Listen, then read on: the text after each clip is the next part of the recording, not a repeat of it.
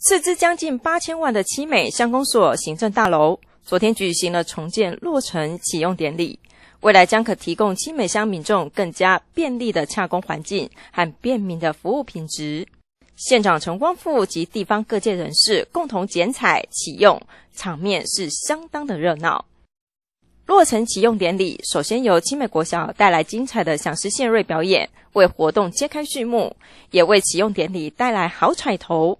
这包括是县长陈光复、七美乡长吕绿勋以及七美乡民代表会主席张仁和、马公市长叶竹林以及多位前任乡长共同揭牌剪彩，见证这喜悦的时刻。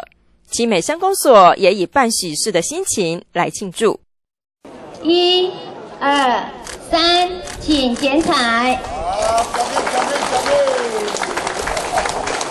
工作。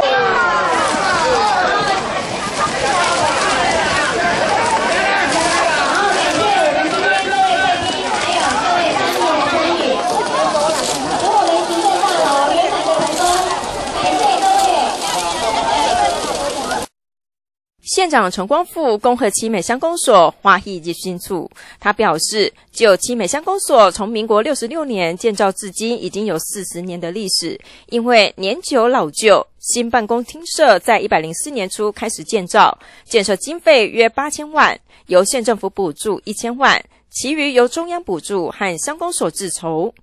现在新厝落成吼，啊虽然。啊，经过安尼四五工吼，有咱个有啊执照啦，啊，搁有立建筑的申请，啊，所以时间啊有慢小可，哦，总是呢，今新厝啊落成啊，哦，新厝落成，啊，所以拄啊，咱的乡长也有讲吼，啊，这个新厝啊，当互咱服务乡亲吼，啊，增加对乡亲的服务，第二就讲对内面啊，咱的乡公所的同仁呢，啊，有一个好的环境。